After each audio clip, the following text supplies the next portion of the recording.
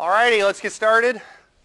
We're rocking and rolling throughout the semester. We're in week four, so probably some of you have already had your uh, your first exams. Of course, we don't have exams in college. We have celebrations of learning, so you probably are celebrating in some of your classes already. But hopefully those are going well. Um, a few quick announcements. We're going to keep on rolling with the, the quiz schedule. So the quiz uh, for today's lecture uh, will uh, uh open up Saturday 8 a.m. and will close next Friday at 11 a.m. So just make sure you're getting those quizzes done on time.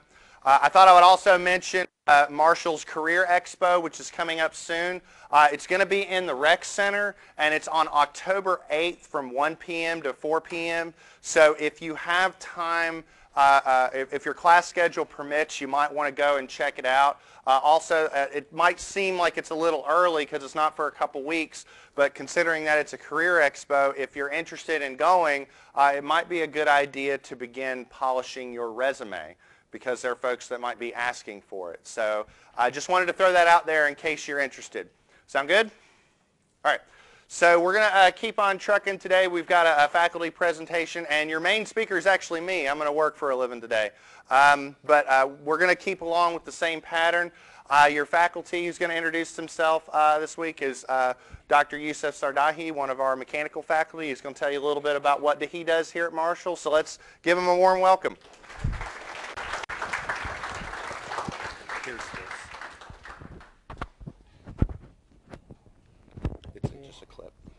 Yeah, my hand is sweating. No. Yeah, can you do that for me? Sure. I'm tired. No, no. I've been lecturing since 8 in the morning. Ooh. Yeah. Here, yeah. you hold that, okay. and you hold that, and I'll get you loaded up. Okay, guys. Uh, thank you very much, Dr. Uh, Greg, for the nice introduction. Uh, this is me, Yusuf Sardahi. You can find me. Uh, this is my office number. I'm Dr. Greg uh, Neighbor. in office uh, 2225. I made a mistake here. Okay, I wrote this slide very quick. Okay, um, this is my email if you want to contact me about one of the topics that I will cover today. So at the beginning, let me just give you a very uh, a quick uh, background about myself. Um, I graduated in 2000. Um, in 2007, uh, into uh, 2007, okay, from Jordan University. Um, I received a bachelor in mechatronics engineering, and after that, uh, I decided I decided to pursue a mechatronics uh, master degree also in mechatronics engineering. So I went to uh, Jordan University of Science uh, and Technology, and I graduated from there in 2011. After that, I started thinking about coming to the United States and doing my PhD here. I contacted many universities, many pro professors, some of them I mean, responded. Some of them took long time to respond, and some, by the way, responded in less than three minutes. Okay, so I applied for three different universities: um, University of California in Binghamton University in New York, and uh, Denver um, University in Denver, Colorado. Um, I got accepted by these three universities, but um, I got um, a financial support from University of California, Merced, and I went there. Um, I started my PhD program in 2016, in, 20, uh, in 2012, and I graduated in 2016. After I graduated from University of California, um, Merced, I worked there for about one year as a lecturer in the mechanical engineering department. And in uh, August 17, 2017, I joined Marshall, uh, Marshall University as a, an assistant professor in the mechanical engineering department. Um, um, I teach uh, courses related to um, programming and also related to mechanical engineering, uh, such as Engineering 111, uh, Engineering Computation. I taught this course two times. So you might um, find me, I mean, when you take this course. For the mechanical engineering students, we changed this course into ME111. This course will be offered next uh, semester. I also teach uh, courses related to control because this is related to my research and my area of expertise. So I teach uh, instrumentation and control. We changed this course into control systems. So we mainly focus on control system design and also PLC programming. Um, I teach also some labs like mechanical engineering lab, um, um, one of the courses also that I taught in Marshall University, the mechatronics course. I'm going to talk today also about some of the projects that we did in this course. I'm going to share uh, some of the ideas with you. Um, I teach also some of the graduate courses related to my field, such as automation and control is an advanced system course, uh, also system modeling and advanced vibration course. I taught this course only one, one time when I joined Marshall for the first time. This course be offered next semester for graduate students. As I say, courses are graduate, uh, graduated courses. Okay. Um, my research, my research is mainly about two things. It's, uh, it's about something called multi-objective optimization and control system. So my main area of expertise is actually control system design, and then I do something called multi-objective optimization. Today I'm going to try to explain to you uh, what I mean by multi-objective optimization. I usually try to use a very simple examples so that you understand what I mean by this kind of of, of optimization. I think some of you guys are familiar with this concept of optimization. Maybe you studied this in calculus, maybe in the high school, maybe in calculus 1. So when you have a function, you need to minimize that function, right, to get the global minimum or the global maximum. In case of multi-objective optimization, I think as the name suggests, uh, you can notice that we have more than one objective that we need to deal with at the same time, okay? In the case of single objective optimization, when you have only one one, one, one objective to either maximize or minimize, you usually uh, end up having only one solution. So I'm, I'm going to give you a very simple example. I usually use this example because it's very easy to understand the concept. If you guys want to buy a car, how many objectives usually you are going to have in your head? What is the first thing that comes to your head? Especially you are students and you are not making too much money the cost, right? That's the first objective. What is the second objective that you may have in your mind? Maybe how, I mean, um, how comfort is the car, ride Or the comfort features that you have inside the car, especially if you are a family man, you need a big car, right? So that can be the second objective. You can add to the list, okay? So if you have too much money, for example, you can uh, also um, include the performance, you can add it to the list. Okay. Um, if you are a manufacturer and you want to make a car, you might include other objectives like, for example, fuel uh, consumption. If you live in a state that care a lot about pollution, you might, for example, add another uh, objective like, for example, emission of pollutants. Okay, so you can notice that we are dealing with a problem that has one more than one objective at the same time. And we need to optimize these two or four or five objectives at the same time. Okay?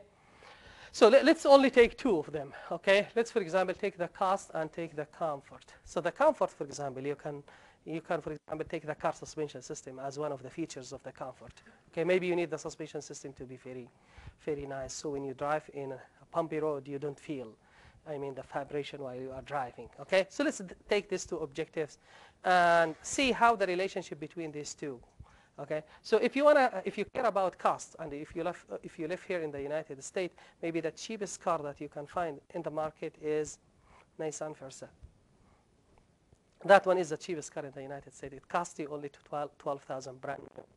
Okay, but um, I mean other features maybe that you are interested in like comfort or performance or fuel consumption is not there. Maybe it's good in fuel consumption, okay, but other stuff like, for example, uh, comfort if you when you sit the, on, the, on the car seat, uh, uh, that feeling maybe it's not there. When you drive it on a bumpy road, for example, you might feel vibration um, coming from the road to your body, something like that, okay? Now, if, if, if you have a lot of money, okay, not a lot of money, if you have a very good amount of money, for example, you might, interested, you might be interested in Mercedes-Benz. This one costs about, I think, about $100,000, okay? So between these two, between these two cars, you can find a lot of cars in the market, right? Okay? So you have Toyota Camry, you have Lexus, a lot of options, okay? And this is the point that I want to make about multi-objective optimization. When you have more than one objective, that you want to minimize at the same time, usually the solution is not a single point.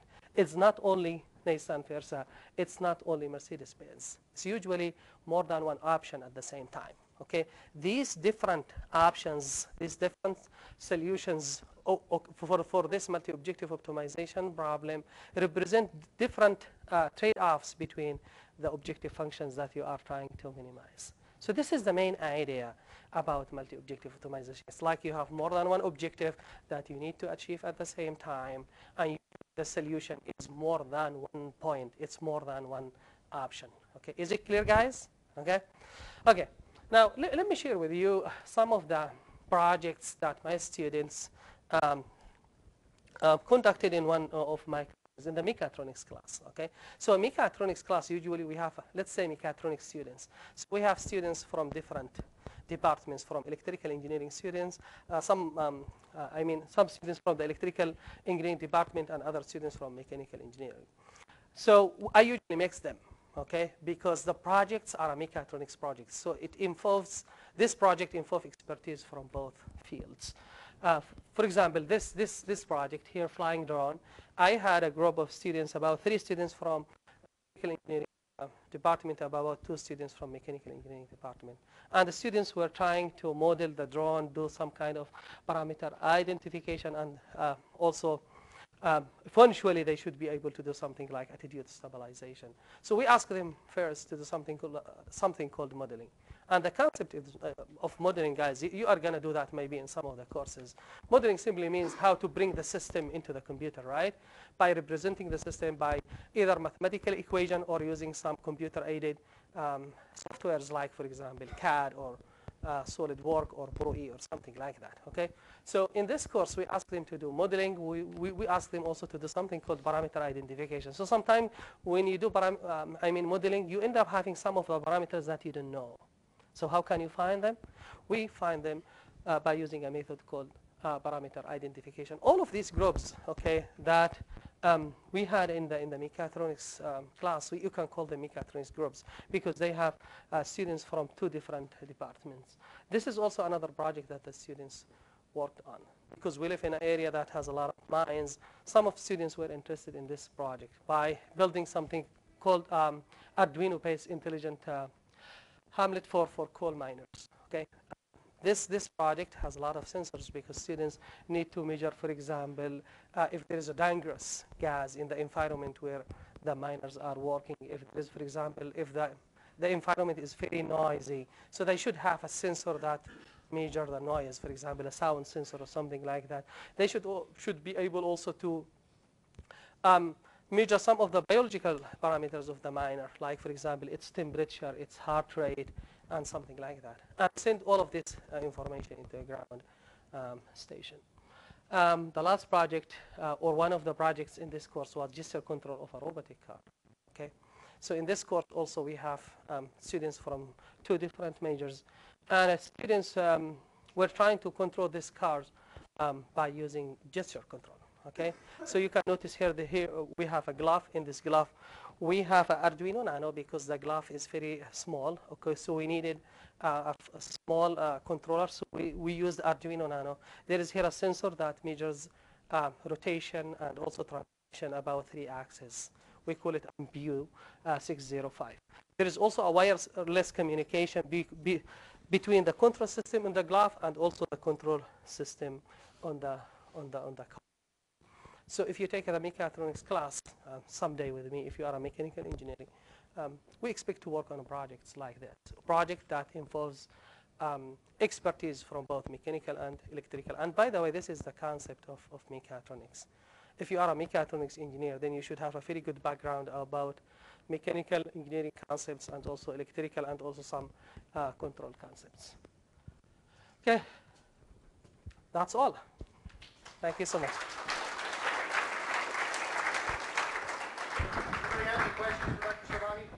Any question? Well, like you said, you can find him in the engineering building, 2225, right next to me. Uh, you got, you got to drop by and, and see him sometime. Right. Thank you. All right, let me get this clipped on.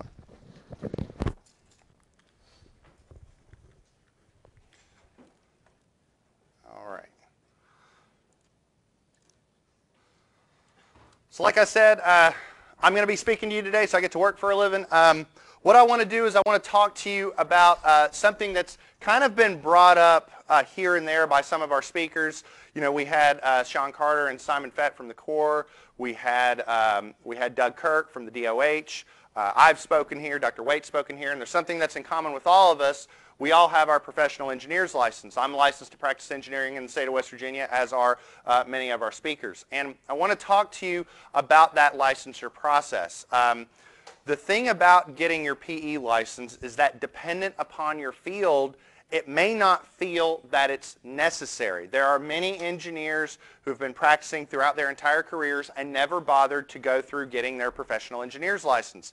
And so for some, for some folks, it's sort of a, a convincing step, like why should you have to do this? Now, I'll go ahead and tell you, if you're a civil engineer, many times it's required. Um, anytime you're designing something in the public sector, like a road or a bridge, I'm a bridge engineer, uh, any of those bridges must be uh, signed off by a professional engineer. So if you're a civil engineer, it, it's very, very common. I know for some of you mechanicals and electricals, you may feel later on that you might not need to. So I want to talk about why you should really think about getting your license, and then I want to talk about how you would go, go about it. So first off, why get licensed? Okay. Now, the, uh, the process to, to getting your license is a step-by-step process, and that first step involves taking what's called the FE exam. And even if you're not thinking about getting licensed, you should really heavily consider at least taking the FE. Now, why should you go about doing that? Why should you waste your time? Okay, first off, money.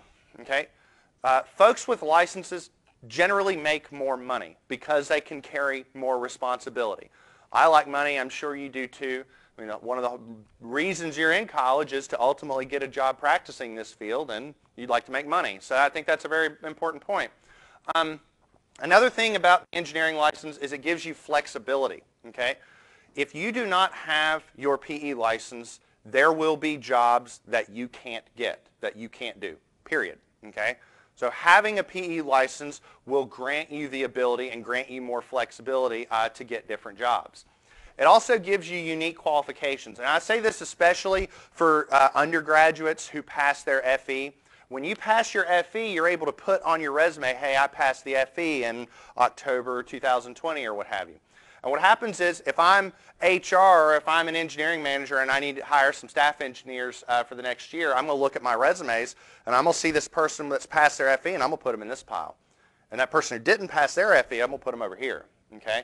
And so being able to put that on your resume shows that you've met the standard. Okay? It's an experience that every engineering student across the country goes through, and it's the same experience for all of us. So showing that you've met that standard, it, it, it adds to your professional repertoire. Um, it gives you job security. Um, if Marshall University burned to the ground, I'd have a job because I'm a licensed professional engineer, and there will always be a need for licensed professional engineers. Um, it also carries with it some prestige. I mean, I'm a board registered professional engineer. The, the state of West Virginia has entrusted uh, to me the safety, health, and welfare of the general public. Okay? And so going through that process means that the state has entrusted you with that same burden. So that carries with it some prestige. So I really think you should heavily uh, consider going towards that. Um, now I'm going to talk about the licensure process. A couple caveats before I go into this. Um, first off, I'm talking about the licensure process in the state of West Virginia. Um, engineers are licensed on a state-by-state basis, so the process might be a little different in Ohio or Kentucky or Nevada or, or all the other states uh, in the country, but by and large, the process is very similar from state to state.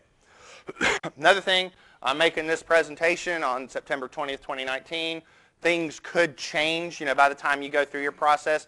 Most of it won't, but there are a couple details which might change as you start to get towards the EI and the PE steps of your license, and I'm going to mention some of those uh, in the presentation. Also, um, you know, again, any questions that you have, you can ask me, and you can also just contact the folks at the board. I mean, they're the ones who are going to have the, the final say in all of this. So um, with that, I'm going to go into the process, and I'm going to relate this process to a licensure process just about every single person in this room is familiar with because just about every single person in this room has gone through a licensure process and that's getting a license to do what? To drive, right? Every, you know, just about everybody in this room has a driver's license. Now let's talk about that process. How do you get a driver's license? Well, it starts out, you take a test, you go to the DMV, you take a test, you pay some amount of money, and they give you what? A learner's permit, right? You get a learner's permit. Then what do you do? You take that learner's permit and you have to use it, right? You have to accrue so many hours of driving experience. And there are exceptions to that. You have to be with a licensed driver in the vehicle, right? And I think they have to be over 21 or something like that. Um, and then once you accrue that experience, you then take the second exam, the actual driver's uh, uh, test. And that exam is a little different. It's much more practice-based. You, you, actually have to drive a car during that, license, during that, that second licensure step. You pass that test, you pay a fee, boom, you got a driver's license, right? That's the step-by-step process to get a driver's license. To get your uh, professional engineer's license, it's very, very similar. Okay, so here's the step-by-step process. Um, you get an ABET accredited engineering degree. Everybody in here is already on their way, so you don't have to worry about that. The first thing that you have to do after that is you take what's called the FE exam. Think of the FE exam as kind of like the test to get your learner's permit. And when I say learner's permit, what I'm talking about is EI status, stands for engineering intern status. That engineering intern status is sort of like your learner's permit. It allows you to practice engineering under the direct supervision of a PE. Then you have to use that status. You have to accrue four years of relevant experience. I'm going to talk about each of these in significant detail. Once you get that relevant experience, you then apply to take the real test, the, the practice-based test. We call that the Principles and Practice of Engineering exam or the PE exam. You pass that exam, boom, you're a PE. Okay? And so that's the step-by-step process. And don't worry, each of these steps I'm going to go through in very significant detail. Okay? So first off, let's talk about the preliminary steps, 1A and 1B. The first step is to get an ABET accredited uh, degree in engineering, and you all are already on your way there. Now, I know that'll probably raise some questions like, well, what if the degree's not accredited yet? What if we're, you know, still working towards that? First off, for you electricals in the room, it won't be an issue because you don't usually take this exam until around your senior year, and by then this will be long past. We had some mechanical engineering uh, students a while back who took the FE exam and passed it, and the only thing that, that happened with them is they just had to wait a little bit to get their EI status. Once our mechanical program was accredited, they applied for EI status, and everything was, uh, was hunky-dory. Now, once you, uh, uh, so you get your uh, degree, while you're uh, taking your degree, while you're, you're getting your undergraduate degree, you need to register and take the FE exam. Now, the FE exam is written by an organization called the National Council of Examiners for Engineers and Surveyors. I abbreviate that NCEES. Uh, the, these terms I'm throwing at you, I'm throwing at you for a particular reason because NCEES is, if you go to ncees.org, that's the website where you go to register for the exam uh, and whatnot. So I'm throwing that, that information out to you because you kind of need it. Um, one of the nice things about these tests, about the exam and the PE exam, is that they're national exams. The licensure process might be state by state, but it's the same test everywhere. So when you take the FE exam and pass it, it's recognized across the country. So once you take that, you'll never have to take the FE again. Like if you get a job in Hawaii, you don't have to take the FE again. You just have to apply, do the paperwork uh, in Hawaii. So that's steps 1A and 1B. Um, once you pass the FE, you then have to actually apply to get your EI certification. So the driver's license analogy is taking your learner's permit test and then actually filling out the paperwork and writing the check to actually get your learner's permit. There's a difference, okay? Um, there's a difference between those two. And um, so in the state of West Virginia, um, uh, we apply uh, to the West Virginia PE Board. Uh, the actual full name is the West Virginia State Board of Registration for Professional Engineers. Their website is right here. It's just westvirginiapebd.org. All of the paperwork to apply for your EI status uh, is there. I'm going to talk to you about that uh, here in a second. Once you apply, uh, once you fill all that paperwork out and pay your fees and pass your exams, uh, you're referred to as an engineering intern. So, for instance, if you see my email, you know, signature, I'll say Gregory K. Michaelson, and I'll say PhD, that means I have a doctorate, and I'll say PE, that means I have a professional engineer's license. Once you get that status, you'll be able to put, you know, uh, uh, John Smith EI. You'll be able to put that at the end of your name. Some states call it EIT. It stands for Engineer and Training. In fact, the FE exam used to be called the EIT exam. Now it's called the FE. So that's just a little verbiage for you for later. Now, once you pass your FE exam, uh, in order to apply for your, your EI certification, you need a few things. Application that you fill out, you need to get it notarized. Um, most banks will do notarization for free, uh, so that, that's pretty straightforward. You do have to include a passport-like photograph in your application, but you can go to a place like CVS or Walgreens or somewhere like that, and they'll, they'll do passport-like photos for you. Uh, it's a $25 application fee. You have to include a copy that you passed the exam. Uh, you need official transcripts from Marshall. You can't just print them off of DegreeWorks or something like that. You have to actually have the registrar get official transcripts in a sealed envelope. And then you need three reference forms. Okay, this is what the reference form looks like. Um, your references can pretty much be anybody, but it's, it's suggested that they're folks who can speak to your background and qualifications. It is very, very common for professors to be uh, EI references. Usually at the end of every semester, I'm filling out a, a bunch of these things, okay? And so most of your professors would be happy to do this. Now, when you're getting your EI certification, your references do not have to be licensed. Sometimes you'll hear people say they do not have to have their stamp. When you get your license, you get an actual stamp that you use to stamp drawing. So if you ever hear somebody say, have your stamp, that means have your license. So uh, when you're applying for your EI certification, your references do not need to be licensed, but when you're applying for the PE, some of them do, and I'll explain that here in a second. Okay, so you get your degree, pass your FE, fill out the paperwork, you get your EI. Now what? Now you have to use that EI. Remember, you get your learner's permit, and then you have to accrue so many hours. Well, you get your EI certification, you have to work so many years. In the state of West Virginia and in most states, that's four years of experience. Okay? Now, a couple things to keep in mind. Okay, um, if you decide to go get a master's degree, that takes a year off, so you would only have to get three years. And if you decide to get a doctorate, that takes another year off. So if you went and got your PhD, you would only need to work two years uh, in order to get your license. Now, as for what it means to, what, what do I mean by work experience or relevant work experience? So this comes straight from the board. I'm going to read this out. Um, the applicant's experience on engineering projects shall be broad in scope in his or her branch or discipline and progressive in that it was of increasing quality and required greater responsibility. Also, that experience has to be under the supervision of a registered professional engineer.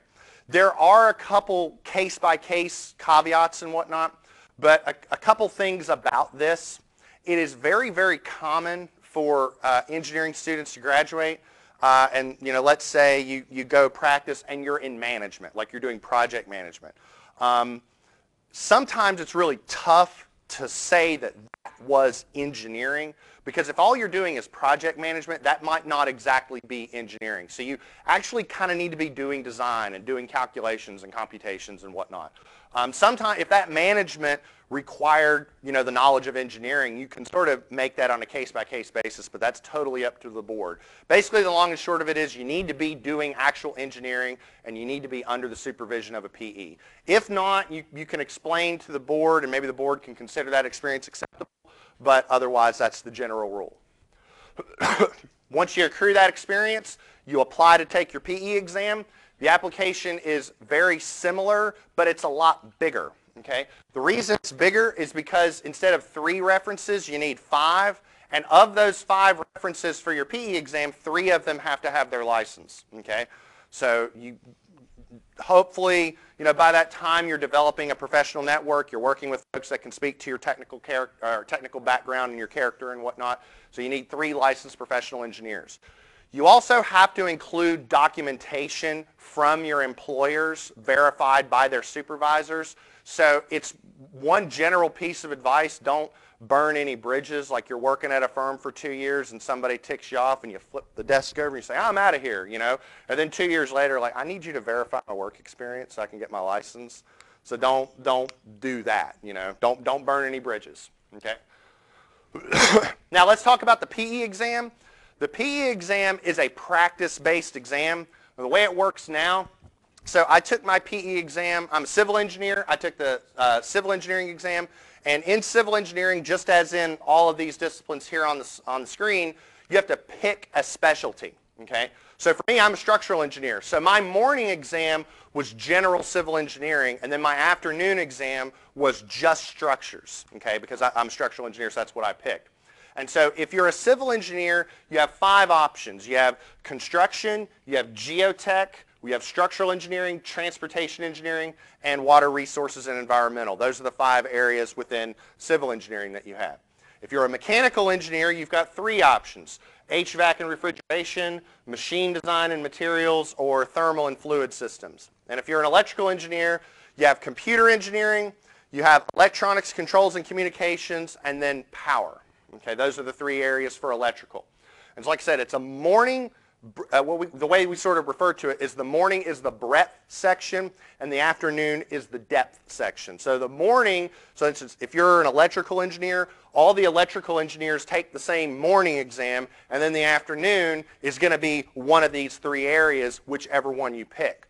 So for instance, if you're an electrical engineer and you've been working at AEP for four years, you would probably pick the power exam because that is relevant based on what you have done uh, in your career. Okay? Now, right now, the PE is a paper-based exam, sort of like a like an SAT or whatnot, where you take it, on, you know, on uh, you know, fill out the little bubble answer sheet uh, and whatnot. But uh, NCEES is transitioning everything to a computer-based exam. So by the time you take the PE, which you all are set to like graduate in the 2023 timeframe, so you probably wouldn't be taking your PE until like 2027. That'd be a little bit down the road. So by then, this is probably all going to be computer-based exams. So mechanical set to go next year, electrical the year after, civil takes a little while. Civil has a lot of references, and so that's sort of what makes it take so long. Okay, does anybody have any questions about the general process? Yes, sir. Say you move to another state, how would you transfer it? That is a great question, and I'm gonna there. There's, let me say this. There's a lot of points related to that, and so I'm gonna I'm gonna talk about that. The short answer is that there's a process called comity and reciprocity that's kind of akin to what you would hope would happen with a driver's license. Like if you got your driver's license in West Virginia and you moved to Nevada, you wouldn't want to take the test again, right? You just want to fill out some paperwork, pay your you know, whatever fee and get your license. And by and large, that process works as well. There are some things that you need to be aware of, and that's going to become clear here in a second. So I, I will cover that. Yes, sir.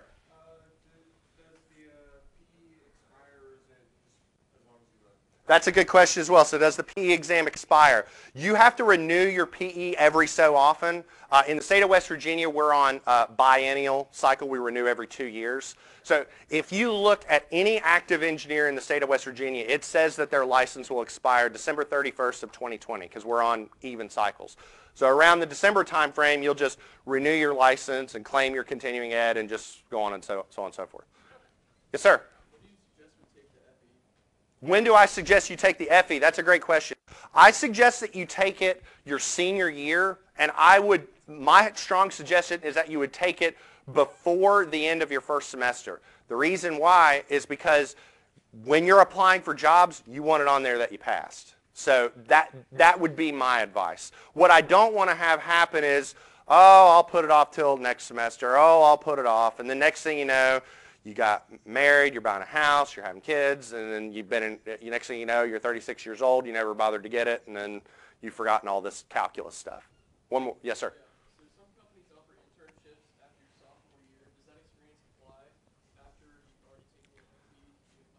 To the work experience?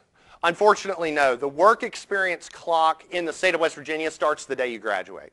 That, that's not to say that work experience isn't valuable. It just doesn't count towards your license. So. Is your PE exam, is it like one and done? Once you pass it, you don't have to take it like every 10 years? No, you don't have to take it again, but as long as you follow certain processes, and that's going to become clear here in a second. Don't worry. Uh, I got one more, and then I, I've got a few more things I want to discuss. You, did you have a question? Uh, yeah, so basically you said that they have to, in order to take your exam to apply for it, you have to have verified work experience Yes. to show four years, but if you also got a master's degree and a PhD, they only have to verify two? Yes, that is correct. Just attach, do you have to attach anything else like that? All you do is, so when, when I applied for mine, I just said, I got my master's year of experience and just gave my transcripts. So, yep, that's all I did. All right, I'm going to get, there's, probably you all have a lot more questions, and some of those questions might be answered as I, as I go through some of this. Um, let me talk about the FE exam. So again, the FE exam is a nationally administered exam. You take the same exam in West Virginia as they do in Oregon and, and California and Maine and Nevada and everywhere. It's the same exam. So every recogni- every licensing body in the, in the country recognizes the FE. Once you take the FE and you pass it, you know, you're good.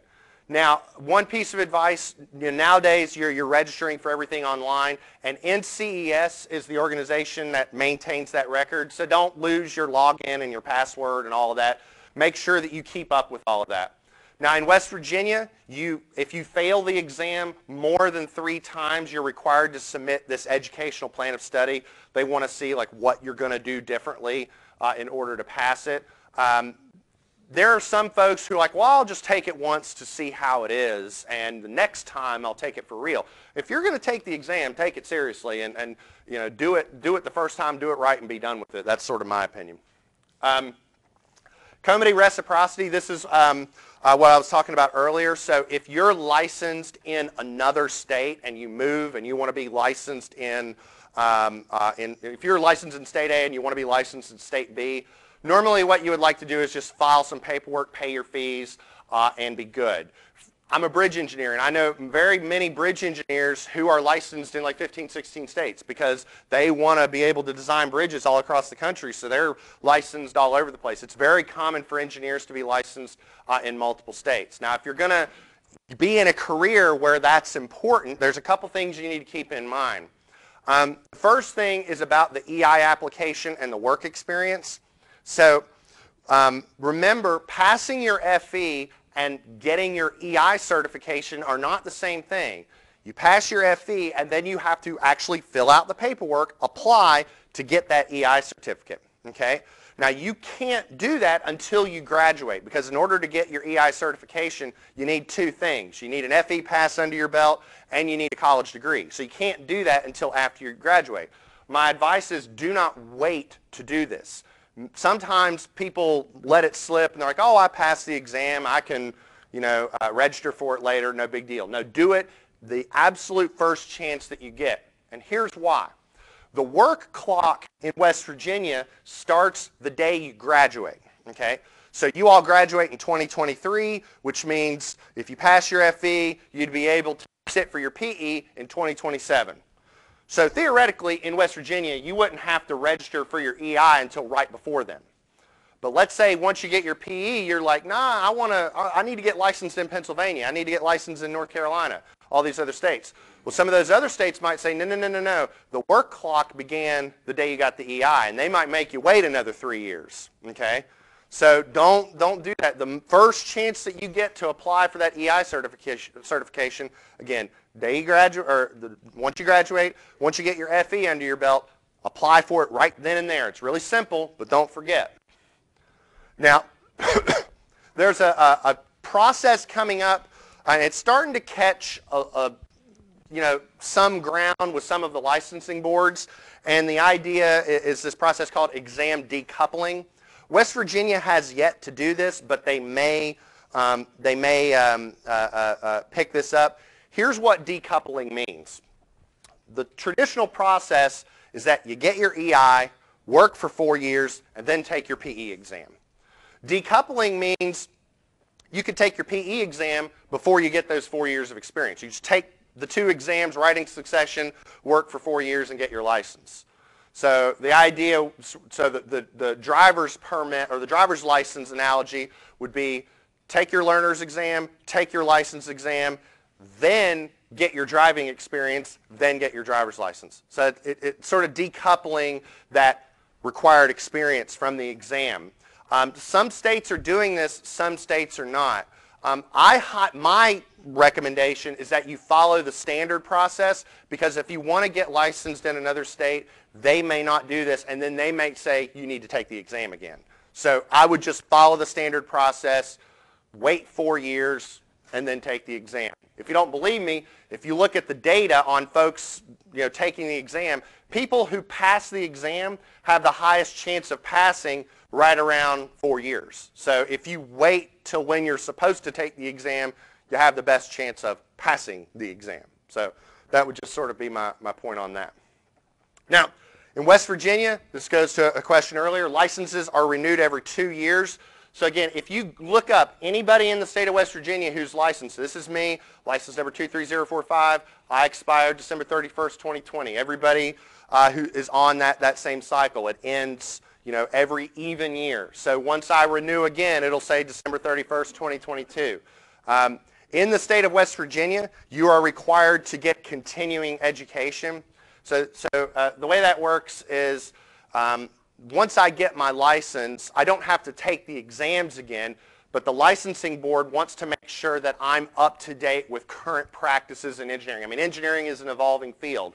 And so engineering in the 1970s wasn't the same as engineering today. And there are engineers who've been practicing since the 1970s, and we want to make sure that they're up to date and current. So every two years, we're required to get so much continuing education. In the state of West Virginia, we're required to accrue 30 hours every two years. Okay? Um, if you're in ASCE, we organize a technical conference on campus for engineers in the area to get their continuing ed here on campus. It serves as a fundraiser as well for our canoe and bridge uh, and whatnot. You also you do have to pay your license renewal, and it's really really cheap. In West Virginia, it's seventy dollars. That's like two ninety two a month, so it's really cheap. It's not it's not a money thing uh, at all. Um, okay. Uh, I have some advice at the end, uh, but I do want to ask if there's any questions. I do also want to talk about the FE exam. That's going to be the experience that you all have in the very near future. Does anybody have any quick questions? All right, let's talk about the FE because I think you need to know about that. So the FE is the exam that you all will take, which I suggest you take around your senior year. Okay, it's a computer-based exam, and it's administered at these Pearson VUE testing centers. If you drop a pin at Marshall University and you say, what is the nearest testing center to us? It's in Charleston, and I've got the address and contact info right here. Uh, by the way, again, all, all these slides are on Blackboard, so you all have all of this. The exam is 110 questions, okay, and it's split up into two sessions. So you start off, you file a non-disclosure agreement, and then there's like a tutorial that you go through to make sure that you're comfortable with the interface. And then you have, you know, like exam part one, a break, exam part two. Now during each of those parts, you can back and forth between questions, but once you finish part one, those, those questions are done. Once you finish part two, those questions are done. But during that, you can go back and forth. Now, I know this is going to be kind of tiny, but um, again, I, I have this on Blackboard. I have here civil engineering. This is mechanical engineering. This is electrical and computer engineering. And this is other disciplines. Um, there are, I think, I think it's seven different tests. There's like chemical, civil, electrical, computer, mechanical, industrial, environmental, and then other for the FE exam. And so if like if you're a biomedical engineer, you'd probably want to take the other. But once you get to the PE, there's like 20 or 30 different exams for PE, and it gets much more specific towards your given industry. So if you're in, let's say, civil engineering, these are the topics that the exam covers. And so many of, you know, if you look at some of these classes, these, these topic areas, we have classes. I mean, we have a class called transportation engineering. We have a class called structural analysis. So usually, um, like I, I, teach structural analysis, we cover what's on the exam and a whole lot more than that. If you can do what's what you do in my class, you can certainly do what's on the exam. That this is a fundamentals uh, exam. So on civil, we have math, prob and stats, computational tools, that's like spreadsheets and whatnot. Ethics, econ, statics, dynamics, mechanics of deformable bodies, materials, fluids, H&H, structures, geotech, transportation, environmental. That's, that's the civil exam. Mechanical, um, I'll see this here. I'm not going to read all of them because I, I want to get, get through these. But here's mechanical. Some of the same topics are on multiple exams, but the emphasis changes. So for instance, mechanicals are concerned more with things moving, and civils are concerned, bless you, are concerned more with things sitting still. There's an old joke that mechanical engineers design weapons and civil engineers design targets. Um, if you look at, at the exam, that's, that's an old joke. Uh, if you look at the exam, like dynamics, there's only four to six questions for the civils, but for the mechanicals, there's like nine to 14 questions on dynamics because it's more important uh, to them. And if you look at electrical, there's all this stuff on circuits and, and stuff that isn't even on any of the other exams. So your exam is much more tailored to your specific field, so you don't have to go out of your emphasis area. Um, for electricals, there's a lot more different topics, but fewer questions in those topics. Uh, so you have things like on electromagnetics, control systems, communications, so on and so forth. Okay. in general, I recommend that students take their FE during their senior year. Um, you're provided one attempt per testing window and no more than three attempts per 12-month period. Um, and so the testing window, I think that's within a couple months. Like you pay your fee, and then you pick the, the date that works for you. Currently, the exam is $175. That might seem like a lot, but if you compare that to like a, a bar exam for attorneys or a board uh, exam for doctors and physicians, I mean, it, that's nothing compared to uh, some of the other, um, some of the other uh, uh, professions. You register and pay for the exam, you schedule the exam, and you receive your confirmation letter from Pearson VUE. Um, this is the website where you would register and pay for the exam. Again, you've got this link on Blackboard, so bless you. So I'm not going to, uh, uh, every, everything's here. Um, exams are essentially offered year-round, and the nice thing about it being computer-based is you can take the exam and you'll find out your results in a week. They usually release the results on Wednesdays, so you'll find out immediately. Now, one thing that's a little interesting about the exam is you really don't bring much to it. You don't bring a pencil or anything. They provide that. You don't bring any paper. They provide that. What you can bring is make sure to bring your appointment letter that's stating that you can come. Bring an approved calculator. I'll talk about that here in a second. You do need to bring an ID, so you do need to bring your driver's license, uh, passport, military ID, whatever makes sense, but an approved ID. And you can bring some like comfort items like a sweater or something like that, uh, medical needs. When I took my PE exam, I brought earplugs, and I thought it was a, a wise decision because you know you don't want it to be noisy. I think it helps with con uh uh, uh, uh, uh, concentration. Do not bring a cell phone. If it was me, leave it in the car. Don't even mess with it. They, you don't even want to entertain the idea, or they, you don't want them to entertain the idea that you're cheating or anything. don't bring a pencil either. They provide all of that you know, smart watches. Don't bring any of that. You know, uh, just what's on the list. The calculator policy, the way that the calculator policy works, there are very, very specific calculators that they allow and everything else they do not. You could go to the dollar store and buy a really crappy calculator for $1 that does less than what these do. But if it's not on the list, they're not going to let you use it. What's on the list? Well, they allow Casios, anything that has an FX115 and an FX991 in the model name. Uh, Hewlett-Packards, they allow two Hewlett-Packards, and any Texas Instruments with a TI-30X and a TI-36X. Anything else they forbid. So I'm, i was a TI-89 fan when I was an undergrad. Can't use it. Okay. I recommend these two calculators. They're very, very similar and bang for your buck. I think that you get the most functionality out of these two calculators. It also might not be a bad idea to bring two calculators in case one craps out on you. You will be provided with sort of a booklet and a pen that you can, you know, it's like a reusable, like dry erase type thing where you can do calculations. And there's also a reference handbook which can be downloaded for free on the NCEES website. It has all sorts of formulas and equations.